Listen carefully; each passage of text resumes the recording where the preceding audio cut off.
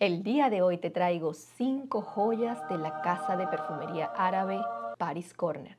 Perfumes con una excelente calidad, yo diría hasta nicho. Si quieres saber cuáles son, quédate y acompáñame.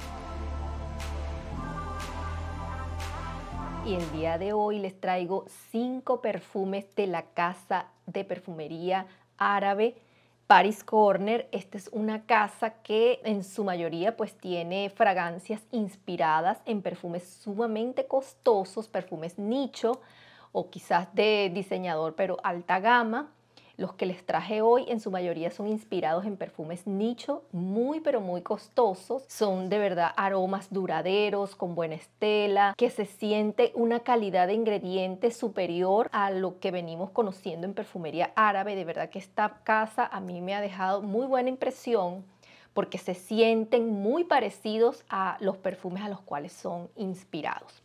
Incluso yo me atrevería a decir con la misma calidad de duración, y de proyección que ofrecen estos perfumes que yo creo que en su mayoría sobrepasan los 300 dólares. Vamos a comenzar con el menos, digamos, inspirado en perfumería nicho. Es un perfume que los se los traigo porque es de esta casa y me parece tan femenino, tan lindo, tan, tan girly. Y es un perfume de reciente lanzamiento de esta casa y este se llama de Paris Corner. Aquí está su botella, miren qué bella.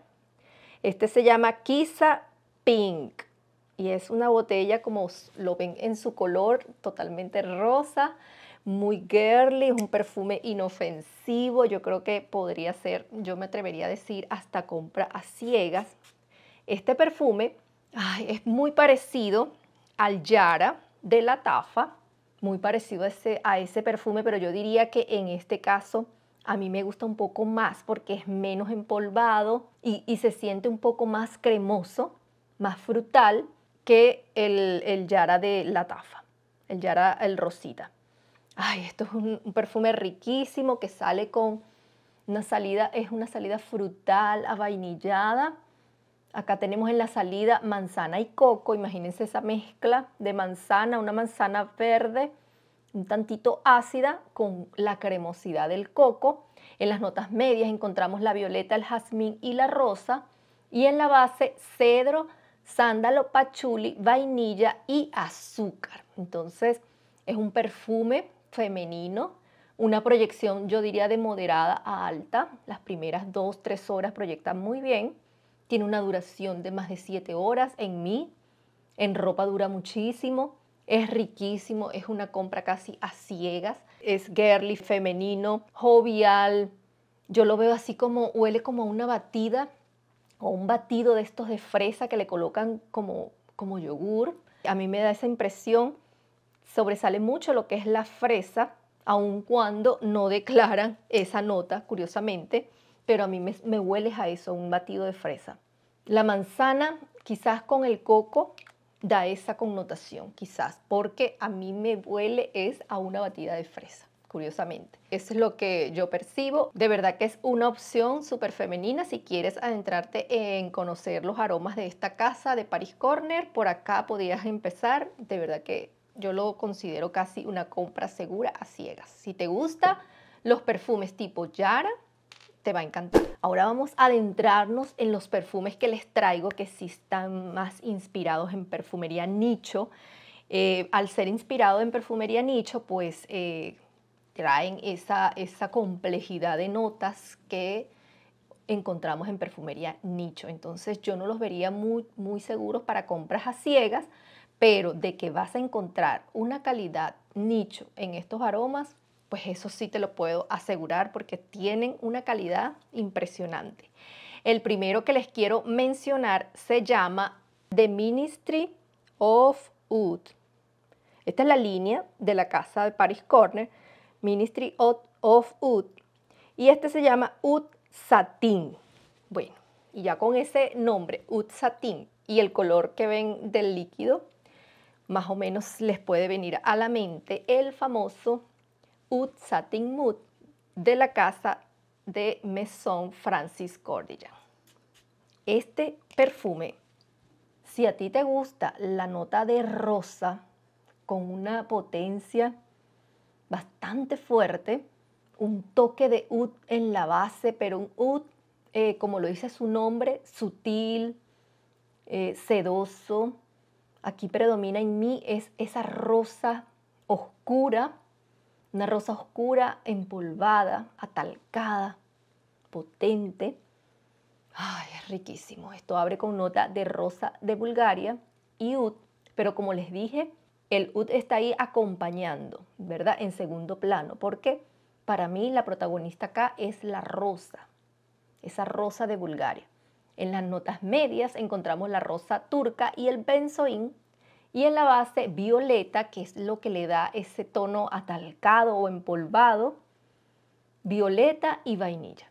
Esas son las notas que encontramos aquí, muy comparado y según lo que he podido recopilar por allí, las opiniones que he podido recopilar, es bastante similar a lo que es el Oud Satin Mood de la casa de Maison Francis Cordilla. Que bueno, ya ustedes saben, esa casa pues tiene muy buenos aromas, pero los precios están bastante elevados. Si quieres conocer esa fragancia, tener una idea de a qué se parece, acá tienes esta opción de la casa Paris Corner la botella es muy linda, de verdad que las botellas de esta casa también me encantan, se ven de buena calidad, un cristal bien grueso, la tapa es también de muy buena calidad, viene acá el sellito de la casa de Paris Corner, de verdad que 10 de 10 en cuanto a presentación de la botella. Me encantan estas botellitas que tiene esta casa. El perfume, la longevidad, bueno, ¿qué les puedo decir? De más de 8 horas en mí, proyecta, yo diría,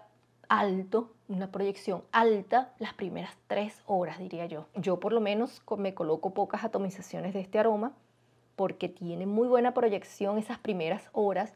Lo veo más para climas fríos, frescos, para las noches frescas, para cualquier ocasión este perfume va muy bien. Tal como es la rosa, pues es bastante versátil para ocasiones elegantes, para ocasiones casuales. De verdad que está muy muy bien este perfume. El siguiente que les voy a presentar es un perfume que me ha creado adicción, les debo confesar, es un perfume riquísimo, avainillado, delicioso, una vainilla profunda, elegante, delicada a la vez. Me encanta y bueno, les estoy hablando de este perfume que se llama Rifa Cat de esta casa Paris Corner de su línea Emir. Este es un perfume inspirado como lo pueden ver en su botellita, bueno, tiene cierta similitud, en el perfume súper caro de la casa YSL de su línea privada, el Baby Cat. Acá les voy a colocar la botellita para que la vean. Ese es un perfume que está rondando aproximadamente los 400 dólares, un perfume bastante costoso y acá tenemos esta alternativa. Yo no he tenido la oportunidad de probar ese perfume, pero si es como este, de verdad debe ser una delicia. Este es un perfume avainillado, como les dije, pero no es una vainilla común, repostera, no. Es una vainilla delicada, pero a la vez elegante, potente. En mí esto tiene una duración de más de 10 horas. En ropa dura muchísimo, yo creo que días la puedes percibir en ropa. Ay, es delicioso, delicioso. Una vainilla elegante, con con estilo, con presencia. Lo veo unisex, pero quizás yo, lo, yo me lo siento un poco más hacia, los lado, hacia el lado femenino, pero es completamente unisex. Un hombre lo puede llevar tranquilamente.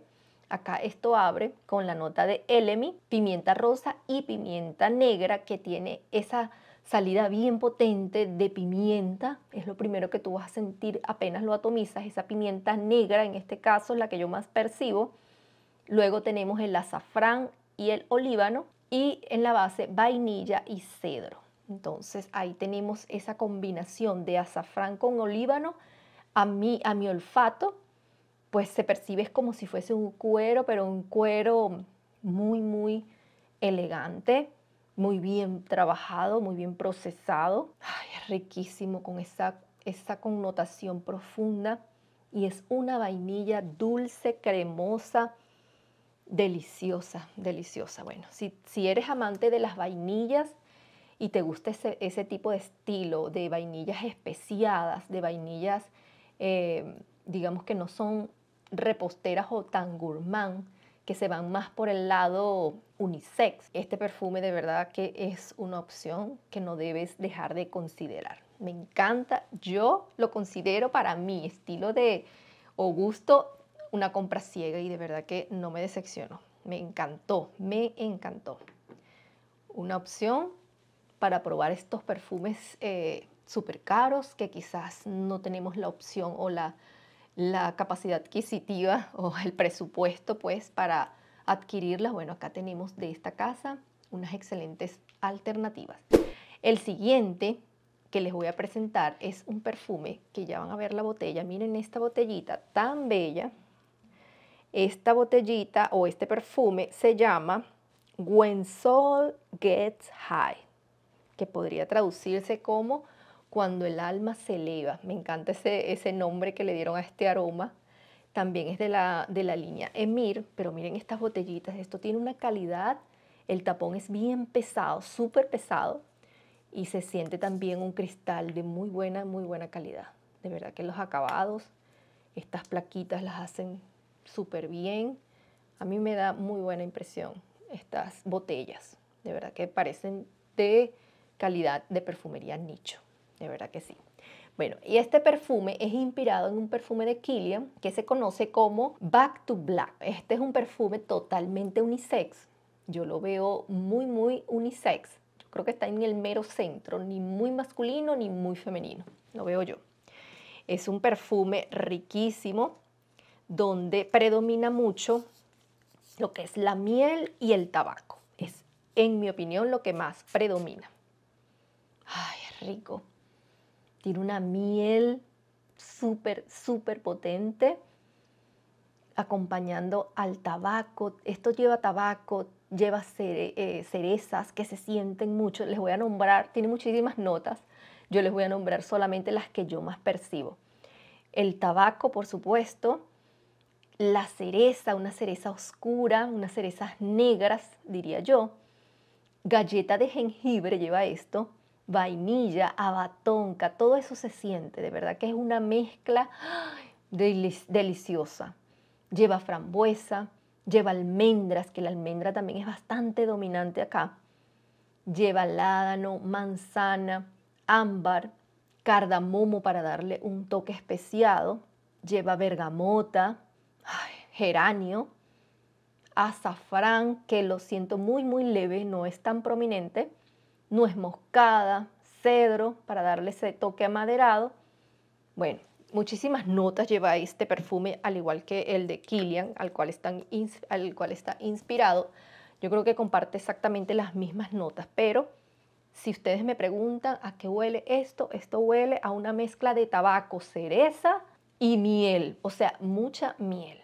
Pero no es una miel dulce, sino que tira un poco más hacia el lado animálico y con esos toques o matices especiados del azafrán, del cardamomo que están ahí, pero que no roban protagonismo a esas tres notas que les mencioné al principio. La vainilla también se siente, pero como les dije, de background, de soporte a esa miel un poquitín animálica, ese tabaco y esa cherry. Eso es lo que yo más siento en este aroma.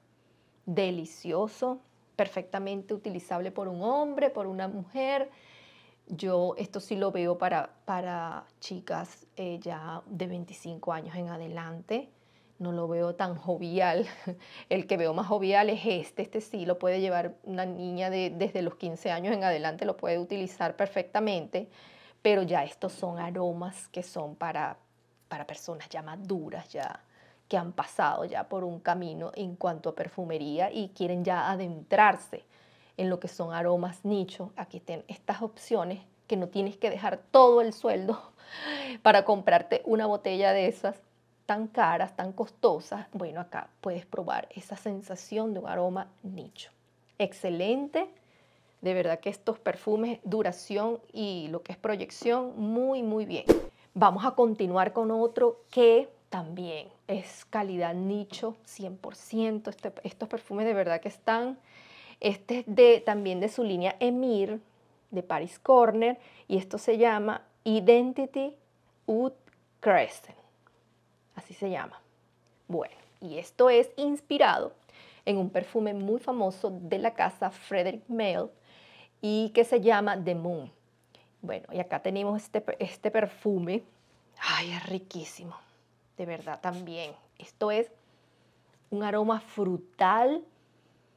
Ay, donde sale un oud delicioso, pero delicado, no es nada animálico. Lo que está allí es dándole como ese, como ese empuje, ¿verdad? A las notas frutales que tenemos acá.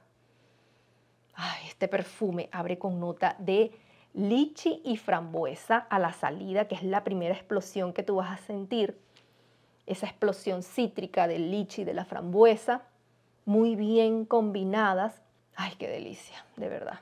En las notas medias vamos a encontrar lo que es la rosa turca, el olíbano, las bayas rojas, las grosellas rojas y la violeta, que la violeta no, no le da una connotación muy atalcada, no, está allí dando nada más como un toque floral a esa mezcla. Luego en la base encontramos lo que es el oud, el cuero, pachuli, ámbar y sándalo. Bueno, una base bien profunda. Esto llena una habitación, de verdad que acá lo tomé una vez y esto tiene acá una burbuja, desplazó todos los aromas y se apoderó este. Bueno, como los perfumes de, la casa de Frederick Mel, también este tiene esa potencia, esa presencia, esa complejidad. Estos ya son perfumes complejos, complejos para, como les dije, narices que quieren ya adentrarse en perfumería nicho.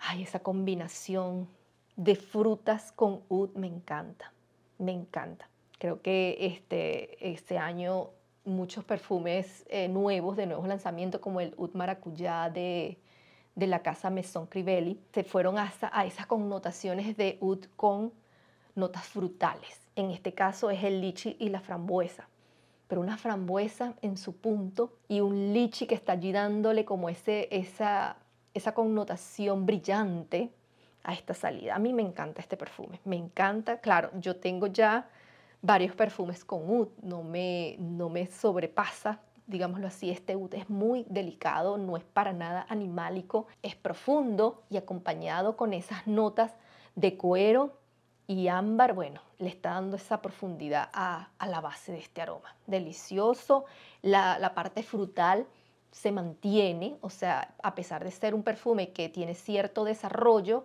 o quizás evolución, no, acá se siente siempre ese toque frutal se va a mantener durante la vida del perfume. Que esto dura, bueno, 10 horas. Esto lo puse yo en un papel el primer día que lo recibí y eso duró días en, ese papel. O sea, lo boté, ya eso quedó impregnado ahí. No sé cuántos días hubiese durado si no lo botaba, pero quedó impregnado allí en ese secante. En piel a mí me dura esto más de 10 horas. De verdad que se siente con una proyección alta, diría yo, moderada a alta, las primeras dos, tres horas. Tiene muy buena proyección. Bueno, sí, aquí les traje estas alternativas. Si ustedes quieren adentrarse en lo que es perfumería nicho, en lo que es perfumería compleja, notas, una, una armonía de notas bien complejas, estas últimas cuatro opciones que les presenté están estupendas para ir adiestrando ese olfato a perfumería nicho. La casa Paris Corner, muy buena calidad de aromas con unas presentaciones exquisitas. No olviden darme su like, no olvides de suscribirte, es muy fácil darle clic y suscribirte para que no te pierdas de mi contenido. Nos vemos en el próximo video. Bye bye.